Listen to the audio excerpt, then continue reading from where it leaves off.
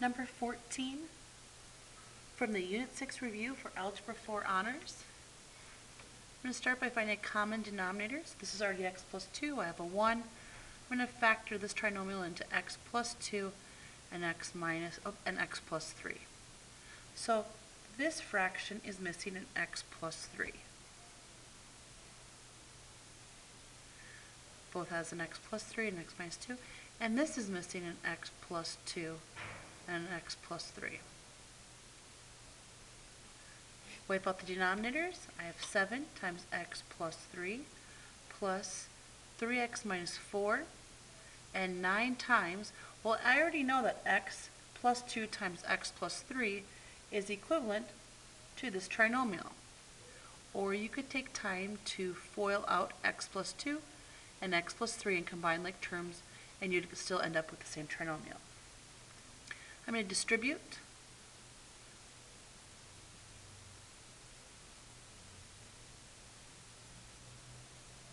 And now I'm going to combine like terms by moving everything to the same side as the x squared.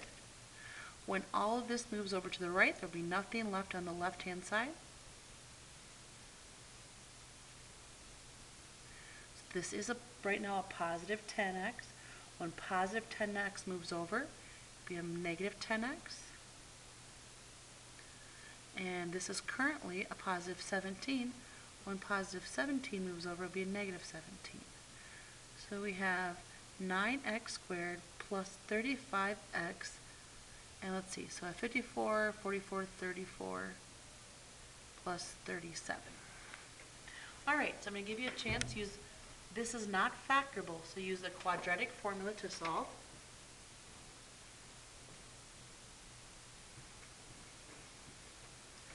If you've not done so, you do need to memorize the quadratic formula.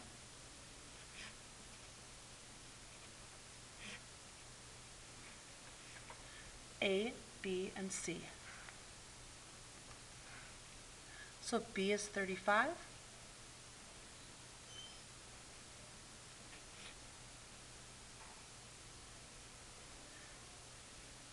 A is 9, C is 37.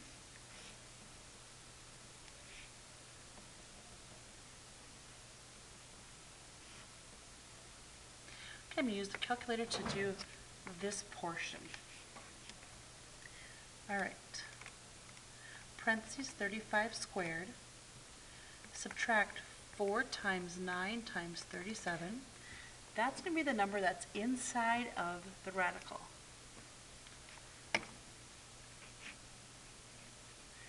Negative 107. We can't have a negative, so we're going to pull that negative out. And it becomes an I.